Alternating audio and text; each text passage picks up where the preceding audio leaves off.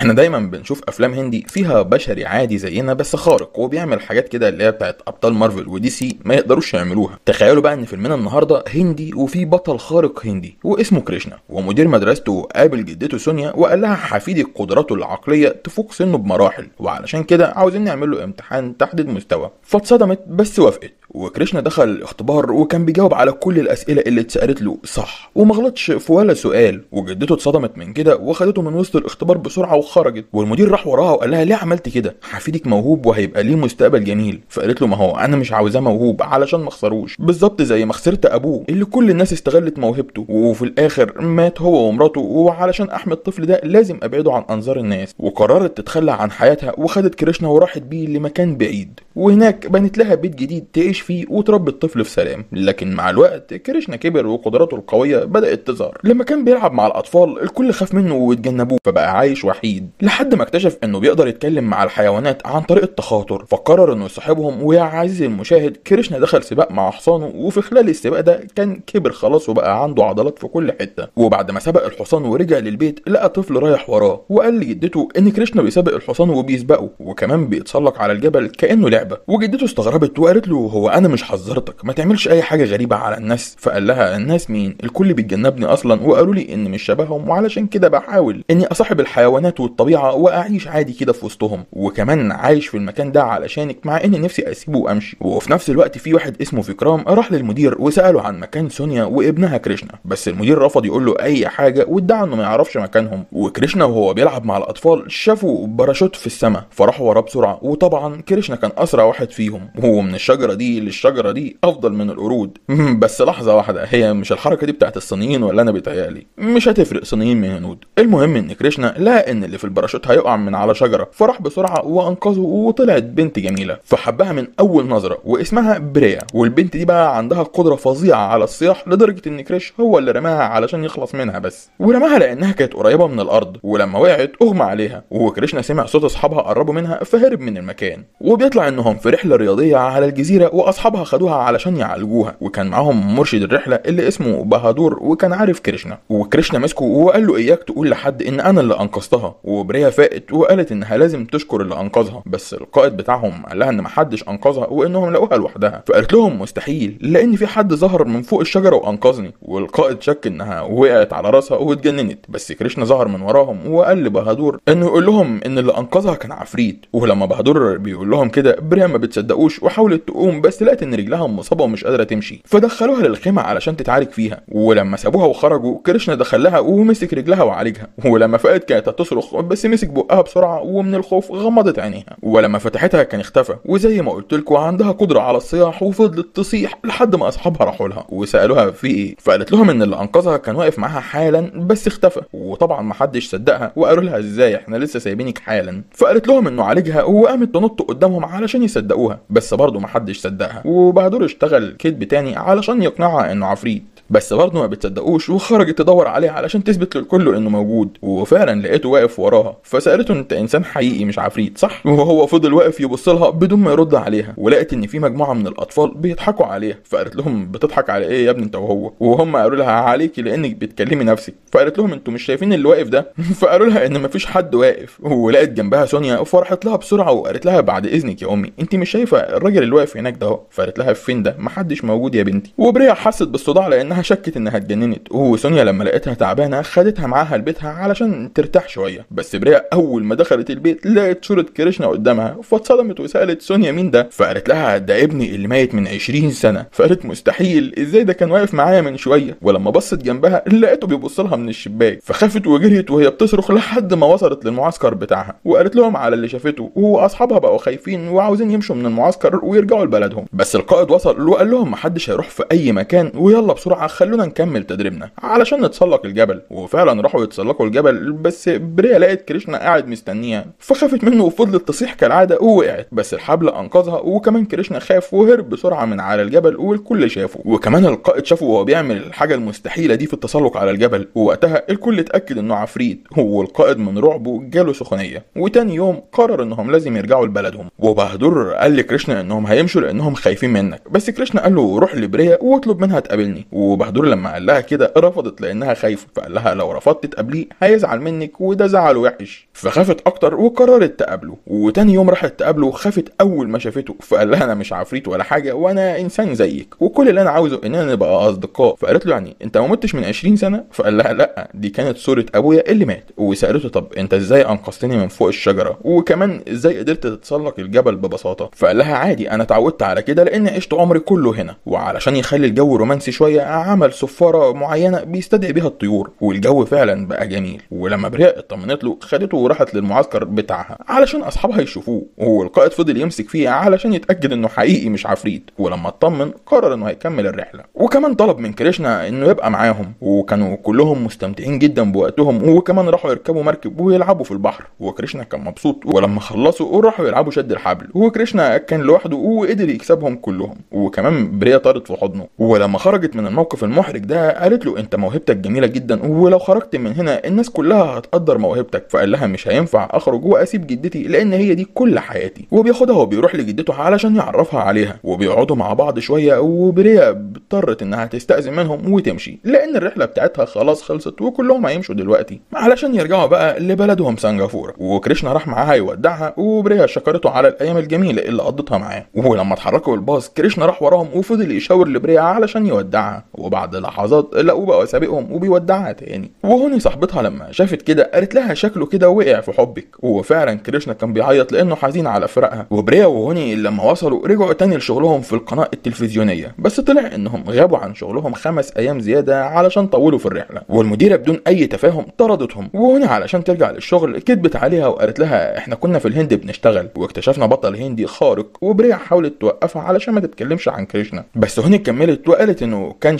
خارق وبيتسلق الجبل أحسن من القرود وكمان كل ما بيحط إيده في المية بيطلع سمك. وقالت للمديرة تخيلي لو الشخص ده جه هنا هنستغله إزاي؟ والمديرة عجبها الفكرة وهو وافقت تسيبهم في الشغل. بس مقابل إنهم يجيبوا لها كريشنا لسنغافوره بسرعة وبريا اتضايقت وقالت لها ما كانش ينفع تعملي كده. بس هوني قالت لها ما كانش في أي طريقة تانية غير كده. وكمان كريشنا هيبقى راجل غني جدا بسبب موهبته وأنت الوحيدة اللي هتقدري تقنعيه يجي لأنه وقع في حبك. فبتتصل بيه وبتكون هوني مديها ورقة ومحفظاها كلمتين علشان تقولهم لكريشنا. على أمل إنها هتقنعه يجي وبتقول له إنه وحشها وبتقول له إنت لازم تيجي هنا وتقابل امي علشان لو ما جيتش هتجوزني لأي حد من هنا. فوافق وقال لها هجيلك في أقرب وقت. والله إن إحنا طلعنا غلابة قوي وبيضحك علينا. المهم ومن فرحته ما كانش مصدق نفسه وراح بسرعة لجدته وقال لها إن بريا عاوزاني أروح لها سنغافورة علشان أقابل أمها وأتجوزها. وهرجع بيها هنا على طول. بس جدته اتصدمت وما ردتش عليه لأنها مش عاوزاه يروح ويتعرض لأي مكان فيه ناس كتير. وهو استغرب وقال لها أنت ليه مش فرحانة ليا؟ وقالت له لأن مش عاوزاك تبعد عني. ولو بريا عاوزاك فعلا المفروض تجيب أمها هي وتجيلك. ولما حاول يقنعها قالت له أنا قلت مش هتروح في حتة يعني مش هتروح. وهو اتعصب جدا من جدته وهو سألها عن السبب فقالت له علشان مش عاوزة أخسرك.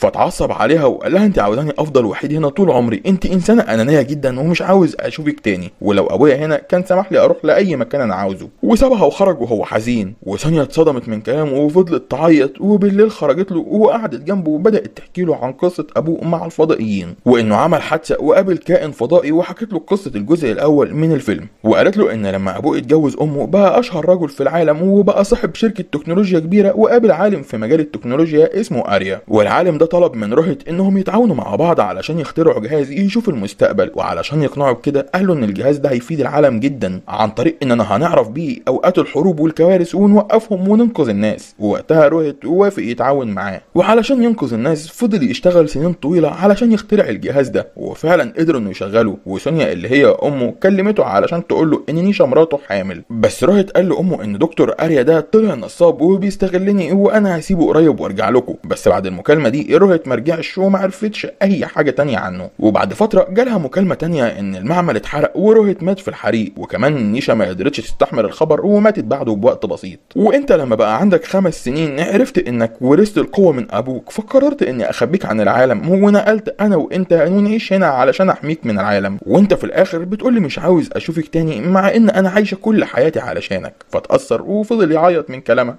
وفضل طول الليل قاعد يفكر في أبوه وتاني يوم الصبح لقى جدته جابت له لبس أبوه وقالت له يلا علشان تروح تجيب بريا وتعالى بسرعة وحذرته إنه ما يستخدمش قدراته أو يظهر قوته قدام حد. وإنه لازم يبعد عن المشاكل وهو وعدها إنه مش هيلفت الانتباه ليه وهيبقى في حاله. وفي نفس الوقت الدكتور أريا وصل لسنغافورة في الطيارة الخاصة وفكرام الحارس الخاص بتاعه هو اللي استقبله. ودكتور أريا راح للمعمل بتاعه علشان يقابل العلماء ويعرف صلحوا قد إيه من الجهاز اللي روهيت كان صنعه علشان يشوفوا بيه المستقبل. والعلماء قالوا له إنهم خلاص على وشك الانتهاء من تصليحه. وده طبعا بفضل أبحاث روهيت. وكريشنا أول ما وصل لسنغافورة ما لحقش يخرج من الطيارة وفي اتنين حرامية شافوه وحاولوا يسرقوا الشنطة اللي معاه.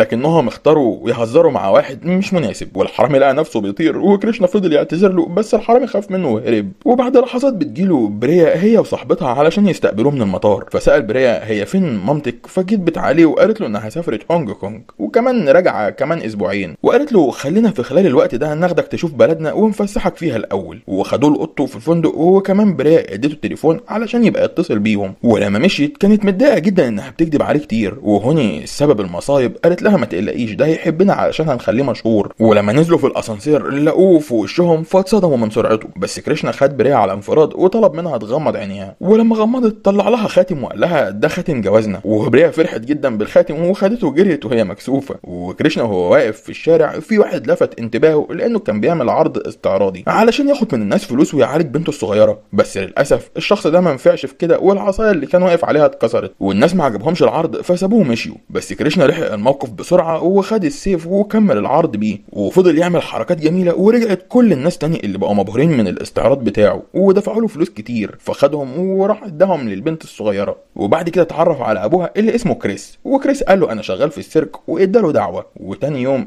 بريا بتعمل لقاء تلفزيوني وبتعرف كريشنا على إنه شخص خارق وكانت عاوزاه يتسلق الشجرة مع القرد ويسبقه قدام الكاميرا فخدها على جنبه وقال لها مش هينفع أعمل كده فقالت له بس مشاركتك معانا في البرنامج هتبسطني فقال لها طب لو خسرت قالت له وقتها هتجوز القرد وهو قال لها لا لا لا ما يرضينيش كده ولازم أسبقه وقبل ما يبدأوا التسلق كريشنا بص للقرد وعرف يتواصل معاه والقرد سمع كلامه وما رضيش يتسلق وبكده السباق باظ والقرد راح لكريشنا وشكلهم كده منسجمين مع بعض والمديرة اتعصبت جدا من القرد وفضلت تشتمه وسابته ومشيت لأنهم لغوا التصوير بس القرد انتقم منها بطريقته الخاصة. وتاني يوم بريا خدت كريشنا وراحت تصور في المية علشان يمد ايده ويطلع سمك. بس كان كل ما بيمد ايده كان بيطلع زبالة مش سمك. والكل فضل يضحك عليه وكمان بريا زعلت منه. فاعتذر لها وقال لها مش ذنبي إن السمك هنا مش عارفني. وحاسس إني غريب عليه. وعلشان يصالحها خدها وراحوا للسيرك بتاع كريس. وكمان شاركوا في العرض معاه وفضلوا يغنوا ويرقصوا لحد ما في واحد من اللي بيلعبوا بالنار وقع نار على علب فيها مواد مشتعلة. فتسبب في انفجار قوي وأثر على بريا في انها أغمى عليها من الخوف. وكريشنا خدها بعيد عن الحريق واطمن عليها. وقبل ما ياخدها ويمشي لقى إن لسه في أطفال محبوسين في وسط النار. فوقف محتار لأنه وعد جدته إنه مش هيستخدم قوته قدام حد بس اضطر يخالف الوعد لأنه ما لقاش حل تاني. بس قبل ما ينقذهم شاف قناع مكسور وواقع على الأرض. فلبسه وكمان قلب الجاكيت بتاعه وبقى جاكيت جلد كده وبيلمع. ونزل بسرعة في وسط النار وأنقذ الأطفال كلهم من الحريق. بس اكتشف إن كان لسه باقي طفلة بس ما رضيتش تمشي معاه لأنها خايفة منه. ولما سألته أنت مين كان هيقول لها على اسمه. بس لما نطق كريش وقف وسكت علشان المفروض إن محدش يعرف اسمه. بس كده البنت عرفت إن اسمه كريش. وكريشنا خد البنت وطلع بيها من وسط النار ولقى بريا في وشه فسلمها الطفلة واختفى من قدامها. وبعد لحظات رجع لها تاني بس بدون القناع وكأنه جاي من بعيد وما يعرفش أي حاجة. والبنت الصغيرة كان معاها قطعة من قناع كريش المكسور وكانت فرحانة بيها. وتاني يوم كل الأخبار اتكلموا عن الحريق وجابوا الطفلة اللي كريشنا أنقذها وخلوها تتكلم عنه في التلفزيون. والمذيعة قالت إنها عاوزة تشوف كريش ده علشان تكافئه وده لأنه أنقذ الأطفال. وقالت إنهم هيعرفوه عن طريق القناع اللي معاهم القطعة الصغيرة منه. وبكده العالم كله بقى بيتكلم عن كريش الغامض. بس بريا لما شافت صورته في الجرايد شكت إن هو ده كريشنا. وعلشان تثبت كده عملت خطة وكانت عبارة عن إنها هتتمشى معاه في مكان. وفجأة هيطلع عليهم مجموعة من المجرمين هي متفقة معاهم علشان يسرقوها. ولما يبدأ يدافع عنها هيصوروه بالكاميرات اللي حاطينها في كل اتجاه. ولما في مجموعة بيظهروا بريا بتفضل تغمز لهم فبيفكرها معجبة بيهم. وده لأن مش هم دول اللي هي متفقة معاهم ودول مجرمين بجد. وأول ما في واحد منهم لمس بريا كريشنا مسكه وطيره وكان خلاص هيتجنن عليهم. بس خد باله من الكاميرات اللي بتصوره فساب نفسه يقع في وسطهم وفضلوا يضربوا فيه بدون بدون أي مقاومة منه. وبريا جالها مكالمة من هوني وقالت لها إن الممثلين اللي أجرتهم هيتأخروا شوية ووقتها الأخت عرفت إن دول مجرمين بجد ونازلين طحن في كريشنا. فحاولت تتدخل علشان تدافع عنه لكن الحرامي سرق شنطتها والخاتم اللي في إيدها. وطبعا ده الخاتم اللي كريشنا كان مديهولها ولما الحرامية هربوا بريا فضلت تعيط واعتذرت له وقالت له أنا كنت عاوزه أصورك علشان أشوف قدراتك وما كنتش أعرف إن الممثلين اتأخروا. ولما بطلت عياط سألته أنت ليه ما قاومتهمش؟ فقال لها علشان أشوفك هتخافي عليا ولا لأ. ولما انتبه لإيدها لقى الدبلة مش معاها فقرر إنه يرجعها لها تاني وراح للمكان اللي الحرامية فيه وهو كان لابس القناع بتاعه وشاف الدبلة مع واحد فيهم فطلبها منهم علشان ما يحصلش مشاكل لكن رفضوا يدوها له فقال لهم أنتوا اللي جبتوا لنفسكم وخدهم وش غسيل ووش مكوى ولما حس انهم لسه ما نطفوش خدهم وشين غسيل تاني فاتهروا منه وما بقوش قادرين يتحركوا وكده خد منهم الدبلة ومشي. ولما حب يقلع القناع كريس كان ماشي بالصدفة وشافه فراح له قال له مستحيل انت كريش المشهور أنا هقول للكل ان انت صاحبي. وكريشنا قال له لا ما تقولش لحد وكمان خد انت القناع وروح انت خد الجايزة بدالي. علشان تعالج بيها بنتك. وكريس في البداية رفض بس كريشنا أقنعه. وفعلا كريس خد القناع وراح سلمه للمذيعة اللي عرضت جايزة مالية. وفعلا خد الجايزة واتكرم. وفكرام شافه على التلفزيون وشاف كريشنا حاضر في الحفلة. وكمان شاف بريا وهي جنبه. وكريشنا رجع الخاتم لبريا وقال لها صاحب كريس هو اللي رجعه. ولما رجعت البيت شغلت الفيديوهات اللي اتصورتها مع كريشنا في السيرك. وبالصدفة هي وهوني لقوا إن الكاميرات كانت شغالة وهو كريشنا بيلبس القناع فعرفوا ان هو كريش. وفرحوا جدا وخرجوا بسرعة علشان يروحوا المديرة بتاعتهم. ومن فرحتهم بريا نسيت تليفونها. وكريشنا كان بيتصل بيها بس أمها هي اللي ردت عليه. فقال لها الحمد لله على السلامة يا حماتي. أنت رجعتي إمتى من هونج كونج؟ قالت له أنت مين يا ابني؟ ولا أنا ما أعرفكش أصلا. أنت مين يا كمان ما سافرتش هونج كونج خالص. فقال لها إيه ده؟ هي بريا بنتك يا ام بريا؟ ما كلمتكيش عني قبل كده. فقالت له ولا أعرفك. وكريشنا اتصدم من الكلام وعرف إن بريا كانت بتنصب عليه كل ده بس طلب منها يعرف مكان بريا وهي قالت له. وفي نفس الوقت بريا وصاحبتها كانوا بيعدلوا الفيديو قبل ما يسلموه للمديره وكريشنا كان واقف وراهم وشايف اللي بيعملوه. وهوني بوظت الدنيا خالص وقالت لها أنا مش متخيلة. منظر كريشنا لما يعرف انك كدبت عليه بخصوص جوازكم بس ما أظنش إنه هيزعل لأنه هيبقى أشهر رجل في العالم. وطبعا كريشنا خد الصدمة وما عرفش يعمل حاجة فسابهم ومشي. بس لما مشي بريا قالت إنها بتعشق كريشنا ومش متخيلة حياتها بدونه. وفي نفس الوقت كريشنا كان وصل للفندق وحضر شنطته علشان يرجع لبلده. بس لقى بريا وصلت عنده وخدته بالحضن وقالت له أنا عرفت إن أنت كريش وكنت مخبي عني. فقال لها آه أنا لبست قناع بس أنت تبقي إيه وأنت لابسة قناع الكذب طول الوقت. وسألها أنت ليه كدبت عليا وقلت إنك بتحبيني؟ أنا كلمت أمك وعرفت الحقيقة. فاتصدمت واعتذرت له وقالت له أنا كل ده بحاول أساعدك علشان تبقى مشهور. فقال لها ما أنا لو عاوز اتشهر ما كنتش لبست قناع. وقال لها جدتي عندها حق إن كل الناس هتحاول تستغلني علشان يوصلوا لأهدافهم. فقالت له حتى جدتك أنانية علشان حبستك بعيد عن العالم. فقطع كلامها وقال لها ما تجيبيش اسمها على لسانك. وعلشان يثبت لها إن جدته بتحبه حكى لها على قصة أبوه بالكامل. وقال لها إن جدتي كانت بتحاول تحميني. ومع كده وافقت أجي هنا علشانك. وسابها ومشي وهي حاولت تترجى إنه ما يمشيش بس ما اهتمش بيها. فكلمت صاحبتها بسرعة علشان ما تسلمش الفيديو للمديرة. لكن صاحبتها قالت لها إنها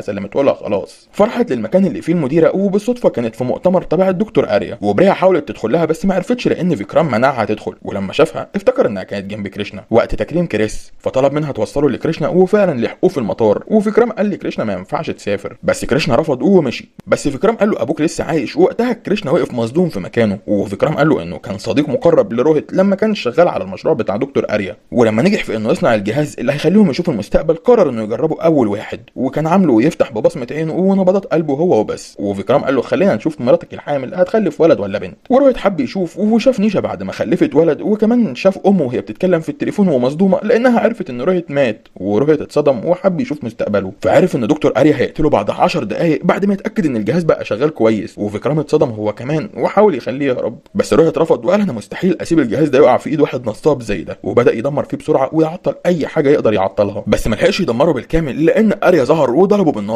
وقال له عادي أنا هقدر أبني الجهاز تاني وكان هيقتله. بس فيكرام وقفه على آخر لحظة وقال له ما تقتلوش لأنه عامل الجهاز يفتح بعينه ونبض قلبه. وبدونه مش هتقدر تفتح الجهاز حتى لو صلحته. وعلشان كده أريا قرر إنه يسيبه لحد ما يصلح الجهاز ويفتحه له وبعد كده يقتله. وكمان طلع للأخبار وقال إن المعمل اتحرق وروهيت مات في الحريق. وفيكرام قال لكريشنا إنه كان بيدور عليه هو وجدته بقاله 20 سنة. وكل ده علشان يعرفهم بس ان روهيت لسه عايش. وكريشنا اتعصب وقال له 20 سنة وأنا محروم من أبويا وأبويا محروم من أمه بسبب كلب زي أريا. وأنا لازم أنتقم منه وعرف من فيكرام المكان اللي أبوه فيه وكان مكان مؤمن جدا وروهيت متجمد فيه لحد ما الجهاز يتصلح. وفي نفس الوقت أريا قدر إنه يصلح الجهاز وفتحه ببصمة روهيت وعلشان يضايق روهيت قال له تعالى نشوف مستقبلي العظيم هيبقى عامل إزاي. فاتصدم لأنه بيشوف نفسه وهو بيموت بعد ربع ساعة على إيد كريش. وروهيت فرح فيه وفضل يضحك. وأريا اتعصب وضربه. وقال له بما إني قدرت أشوف مستقبلي يبقى أكيد هقدر أغيره. وأمر رجالته إنهم يقتلوا كريس لأنه معتقد إن هو كريشنا. وفيكرام عرف بكده فقال لكريشنا اللي راح بسرعة ولقى كريس مقتول. فتعصب جدا ولبس قناعه اللي كان مديه لكريس وراح بسرعة للجزيرة اللي أريا موجود فيها. وطبعا الحراس حوطوه من كل اتجاه بس هم أتفه من إني أذكرهم لأن كلكم عارفين اللي حصل لهم. وأريا رجع يشوف مستقبله تاني فلقى نفسه هيتقتل برضه عن طريق كريش فبيتعصب جدا وبيقول مين ده؟ وبيشوف في الكاميرات إن كريش وصل وشغال قتل في رجالته وما سابش فيهم حد سليم. لحد ما وصل لأريا اللي لقى ماسك روهيت وكان ناوي يقتله. وقال له أنا مش عارف أفهم أنت ليه بتعمل كل ده علشان تنقذ روهيت؟ ولما شاف فيكرام وصل قتله وقال له أنا لما شفت المستقبل عرفت مين معايا ومين ضدي. وكمان طلع إنه ماسك بريا وقال له لو ما استسلمتش هقتلها. وكريشنا استسلم والحراس حواليه من كل اتجاه وشغالين ضرب فيه بس ما كانش مهتم. وروهيت كل ما يشوف كريشنا بيتضرب كان بيتأثر جدا مع إنه ما يعرفش إن الشخص ده يبقى ابنه. وفي واحد ضربه على راسه فوقعه على الأرض. وروهيت رمى نفسه جنبه وكان حاسس إن في حاجة مشتركة بينهم. وساله أنت مين؟ وأريا كان عاوز يضربه برجله. بس كريش ما حبش إن ده يحصل فمنعه ورماه. وكمان قام بسرعة وضرب كل الحراس بسرعة أسرع من سرعة سوبرمان. وبعد ما خلص عليهم لقى أريا ماسك سلاحه وضرب نار على بريا وروهيت بس كريشنا كان اسرع من الرصاص. وقدر يرمي طفاية على رصاصه بريا فغيرت اتجاهها وكمان بسرعة نط قدام أبوه وخد الرصاصة في جسمه بداله وكمان طار على أريا وناوله ضربة في كرشه أعتقد جابت أجله. وكمان خد السلاح وصوبه عليه زي ما شفنا في آلة الزمن. وقبل ما يقتله أريا ساله أنت مين؟ وكريشنا قلع القناع قدامه فلقاه مات محبول من الصدمة. وبريا قالت لروهيت قابل ابنك كريشنا. وروهيت ما كانش مصدق نفسه طاير من الفرح. وكريشنا رجع مع بريا لجدته ففرحت بيهم جدا لأن كريشنا كان وحشها. بس بتلاقيه عامل لها مفاجأة ما كانتش تتوقعها وكان جايب لها ابوه اللي هو ابنها معاه ودي كانت صدمة بالنسبة لها. وروهيت بيروح يشغل جهاز أبوه وبيبعت رسائل لصاحبه الفضائي جادو. نسيبه بقى ونروح لروهيت وهو قاعد في المختبر بتاعه وبيعمل تجربة بقاله سنين وشكلها كده نجحت. فنزل بسرعة صحى ابنه وقال له تعالى شوف اختراعات أبوك يا تافه. والاختراع كان عبارة عن قلم بس مش قلم قوي. هو حاجة كده تكنولوجيا متطورة بس على شكل قلم وبتقدر إنها تجمع أشعة الشمس وتوجهها على حاجة معينة فترجع فيها الحياة. تاني وفعلا التجربة نجحت شوية بس النبته انفجرت لأن الطاقة كانت شديدة عليها وروهيت عرف إنه محتاج حاجة تتحط قبل أشعة الشمس علشان تنظم الطاقة.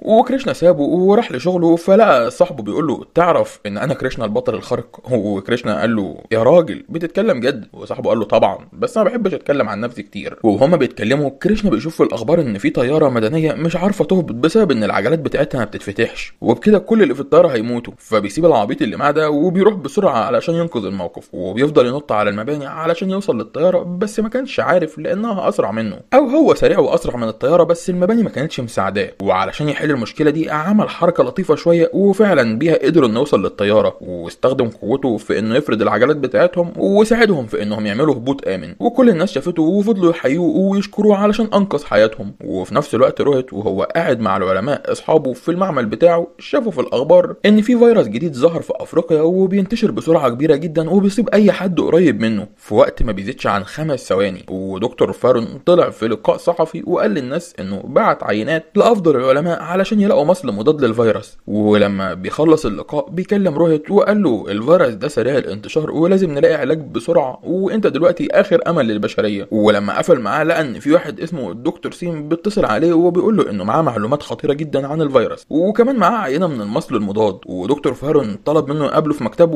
وفارون سبقه على المكتب بس لقى هناك واحدة غريبة مستنياه في المكتب واسمها كايا فسألها أنت مين؟ وهي ردها عليه ما كانش واضح فطلب منها تطلع بره مكتبه بس رفضت وحاولت تغريه بس هو كان محترم فحب يتصرف بسرعة ويكلم الأمن بس ما لحقش لأنها مسكت إيده وفجأة شكلها بدأ يتحول لحد ما بقت نسخة تانية منه كأنها هو بالظبط. وكمان هو تقريبا كده مات أو فقد الوعي. فخدته وخبته واستنت ثين لما وصل وفكرها دكتور فارون وقال لها إنه شغال في شركة أدوية تابعه لواحد اسمه كايل. وقال لها ان هو اللي نشر الفيروس وكمان المصل المضاد معاه. بس كايا دي طلعت أصلا شغالة برضه تبع كايل وخدت كل البيانات اللي مع دكتور ثين وخلصت عليه هو كمان. وده بقى كايل الشخص الكاريزما خالص بس أسطورة في الإجرام. مع إنه مشلول وقعيد وما بيقدرش يحرك أي حاجة في جسمه إلا الصباعين دول. وكمان من خلال الصباعين دول بيقدر يعمل حاجات خارقة زي إنه بيقدر يتحكم في أي حاجة قدامه ويحركها عن طريق قدرة خارقة في الصباعين دول. ومع إنه عنده شركات أدوية وعلماء كتير بس طول عمره بيحاول يدور على علاج لنفسه علشان يقدر يتحرك تاني. بس المشكلة إنه مش هيلاقي علاج إلا لو لقى شخص تاني يبقى عنده نفس حمضه النووي. ولأنه خارق وفريد من نوعه مش لاقي حد بنفس الحمض النووي بتاعه. وعلشان يلاقي علاج حاول يعمل تجارب مع الحيوانات عن طريق إنه بيدمج دمه معاهم. بس بدل ما يلاقي علاج عرف يصنع بشر خارقين فيهم صفات الحيوانات الحيوانات اللي دمج دمه معاهم زي كايا مثلا كانت سحلية وبتقدر تغير شكلها لأي حاجة هي عاوزاها. وكمان استخدم صباعه والقدرة اللي فيه علشان يكسر أنبوبة زجاجية علشان يطلع آخر إنسان خارق هو اخترعه. وكايا وصلت لكايل وقالت له إن 40% من سكان ناميبيا اتصابوا بالفيروس وده طبعا في وقت بسيط جدا وسألته تحب نطلع بالمصل إمتى؟ فقال لها استني لما عدد المصابين والوفيات يزيدوا والناس تخاف أكتر ووقتها هنبيع لهم المصل وهنكسب مليارات من وراهم. وروهت بعد ما درس الفيروس اكتشف إنه فيروس مصنع بس عرف إن شركة كال اكتشفت المصل ونزلته للأسواق والفيروس بقى تحت السيطرة خلاص. ففرح لأن كده معاناة الناس هتقل. وكريشنا بيشوف على الأخبار إن بريا مراته بتقول للناس إن جالها نبأ عاجل وهو إن كريش البطل الخارق مش هيشتغل من بعد الساعة 11 ونص. فرح لها علشان يشوف هي بتقول كده ليه. فلقاها عاملة له مفاجأة وبتهنيه بعيد ميلاده وكمان الهدية اللي جابتها له إنها قالت له إنها حامل في ابنه. وطبعا فرح وكلهم فضلوا يرقصوا ويغنوا. هي مش المفروض حامل فتخاف على الطفل وتبطل رقص شوية ولا إيه؟ ها؟ ولا إيه؟ المهم إنهم تاني يوم راحوا يفاجئوا روهت وقالوا له أنت هتبقى جد. وروهت فرح جدا بالخبر وبص لبريا وقال لها كل أب فرح بابنه وهو بيكبر قدام عينه. إنما أنا اتحرمت من المتعة دي لكن بسببك هقدر أعيش المتعة دي دلوقتي مع حفيدي وشكرها علشان بتكمل عيلتهم. وفي نفس الوقت كال كان بيجرب حدود قوته قدر إنه يبعد الحديد من مكانه باستخدام صباعه بس. ولأنه استخدم قوة كتير في دم نزل من عينه وكال لما شافته مسحت الدم. فقال لها تخيلي لو قادر أستخدم جسمي كله هعمل إيه؟ فقالت له أنا مش فاهمة أنت إزاي مع قوتك دي ما بتقدرش تمشي. فخنقها بشعرها وقال لها لازم أوجعك لأنك وجعتيني بسؤالك. وده لأن ما عنديش إجابة ليه لحد النهارده. وقال لها إنه زمان كان بيستخدم قوته وأبوه لما شافه حاول ينصحه إنه يستخدمها في الخير. وكل سأل أبوه وقال له أنا جبت القوة دي منين؟ وليه ما بقدرش أمشي؟ بس أبوه ما عرفش يرد على سؤاله وعلشان كده كل قتله. وقال لها بعد كل العلم اللي وصلت له ولسه مش لاقي إجابة. وأنا متأكد أنا لو عرفت القوة دي جت لي منين هقدر ألاقي حل وأرجع أقف على رجلي تاني. وقال لها إنه مستعد يصرف مليارات علشان بس يقدر يقف على رجله.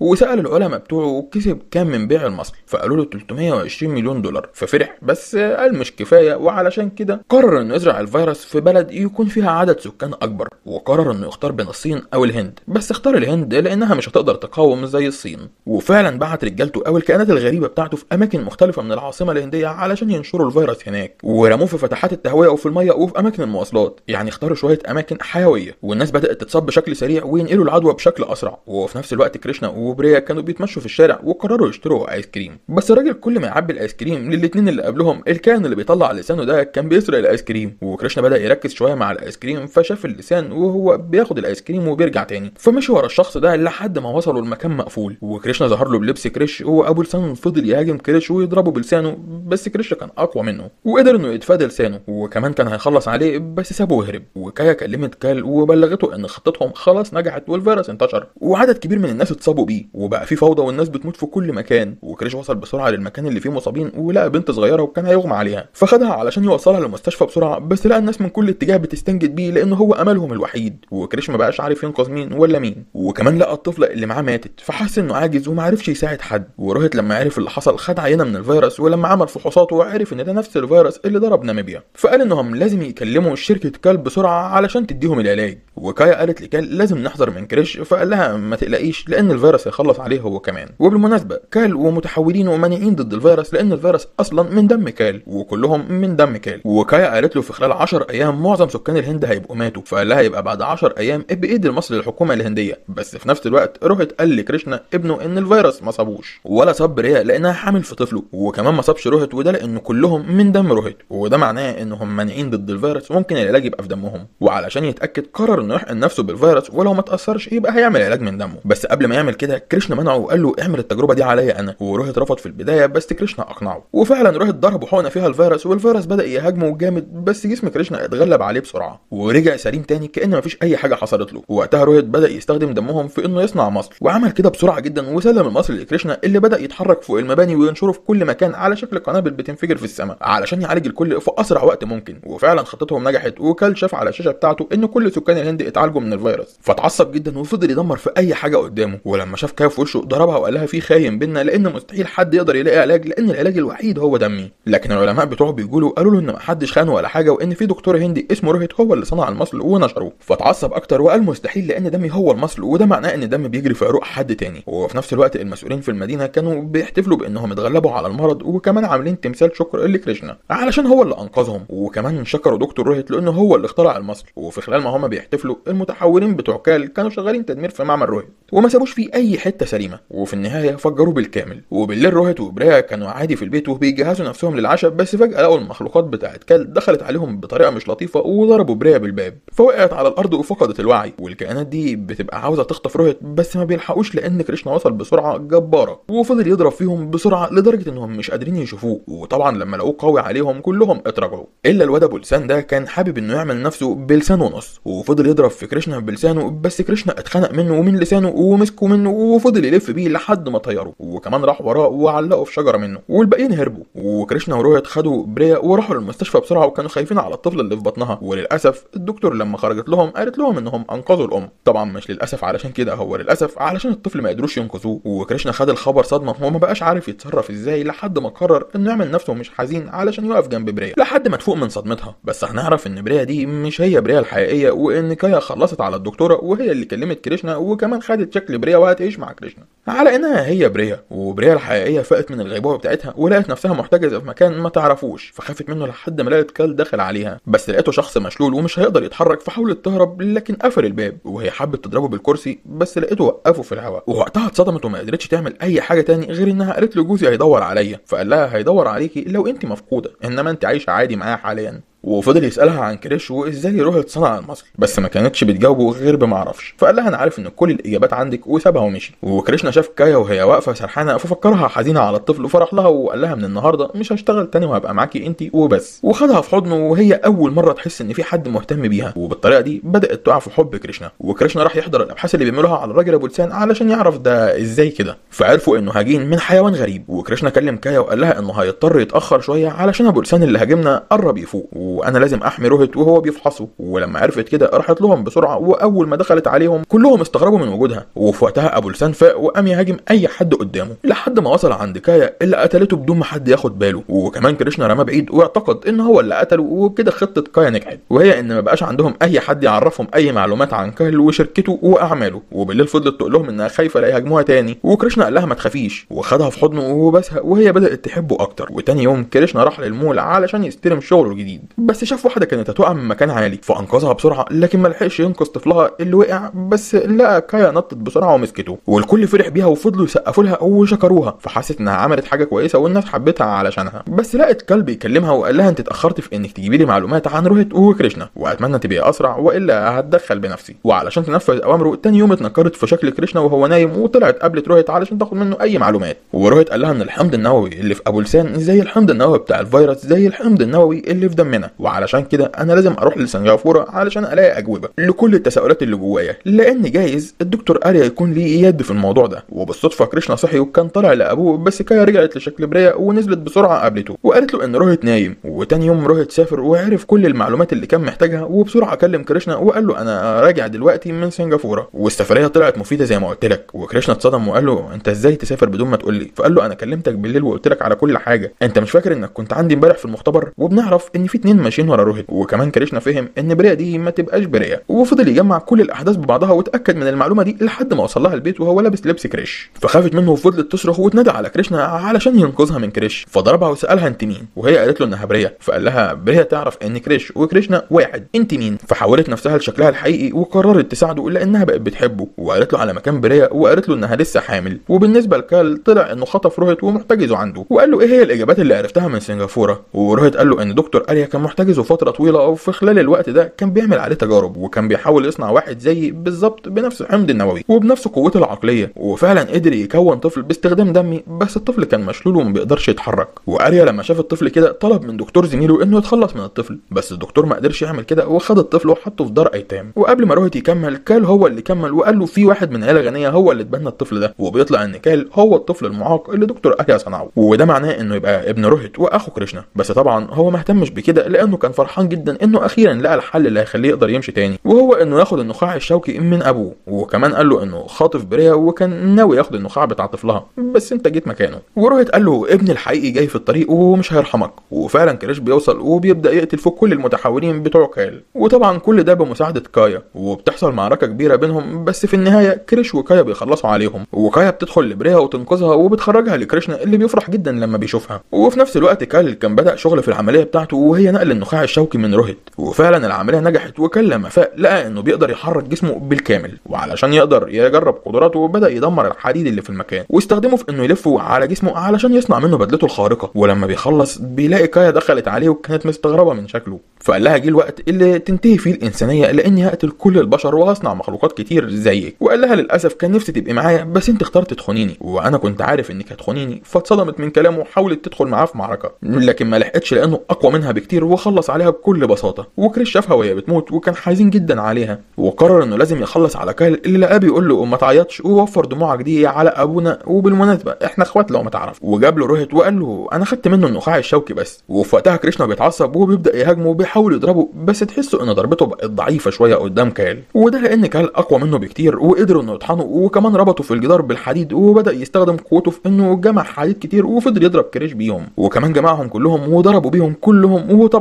كريش مش قادر يتحرك وكل اللي بيعمله إنه بيطحن بس. لحد ما كال قرر إنه يخلص عليه وضربه برجله في صدره. ووقتها تقريبا قتله. قدام عين أبوه اللي قال له أنا دلوقتي مش محتاج أقتلك لأنك ما بتشكلش خطر عليا. وكفاية عليك إنك شفت موت ابنك قدام عينك. وسابه ومشي علشان يكمل تدمير في المدينة. وروهيت بيحاول يفوق ابنه بس للأسف ما بيفوقش. وكال وصل بسرعة للمدينة وبالتحديد عند تمثال كريش ودمره. وكل اللي شافوا كده خافوا وبسرعة الشرطة وصلت بس بكل بساطة دمر أسلحتهم. وكمان خد كاميرات الصحافة ووجههم ليه وقال للكل أنا قتلت كريش اللي شايفينه بطل. ودلوقتي هيبدأ عصر كايل وعلشان يظهر لهم قوته دمر عربية شرطة بمجرد إنه رفع إيده في الهواء. وكمان أول ما قفل كف إيده دمر له طيارتين وقال للكل لو عاوزيني أرحمكم سلموا لي بريا وبريا تفتكر القلم اللي اخترعه وقرر يستخدمه على كريشنا. وفعلا أشعة الشمس كلها ضربت جسم كريشنا بس برضه كريشنا ما فاقش وده لأن الأشعة دي زيادة عن اللزوم. وقتها روهيت قرر إنه يضحي بنفسه علشان يوصل الأشعة المناسبة لكريشنا ويعيش. وفعلا وقف قدام ضوء الشمس ووزع الطاقة بتاعت الشمس على كريش اللي بدأ يفوق وسمع أبوه بيقول له إنه ما يعتبروش ميت وده لأنه هيبقى عايش جواه وهيدمج قوته معاه. وفجأة جسمه بينفجر من قوة الطاقة اللي تعرض لها ووقتها كريشنا بيقدر يفوق.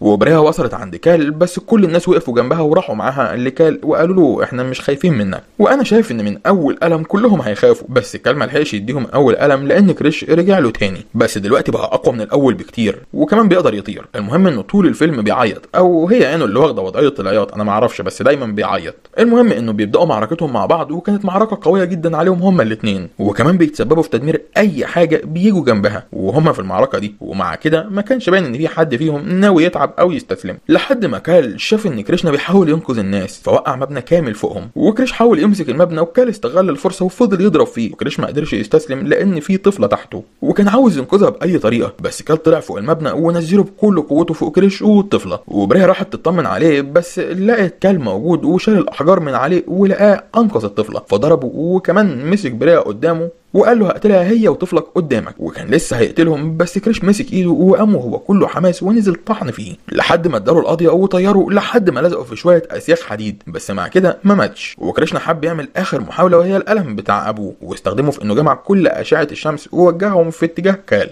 اللي في البداية فرح لأنه حس إن قوته بتزيد. بس بعد كده لقى نفسه بيسيح وبدون مقدمات جسمه انفجر ومات وخلصنا منه. وبعد ست شهور بريا خلفت طفل ولد وسموه روهيت. وكريشنا راح يطمن على بريا وحب يبص على الطفل بس لقاه اختفى. فخافوا هما الاثنين لكن ورث قوة أبوه وتقريبا طار أو طلع على السقف. إحنا لسه ما نعرفش.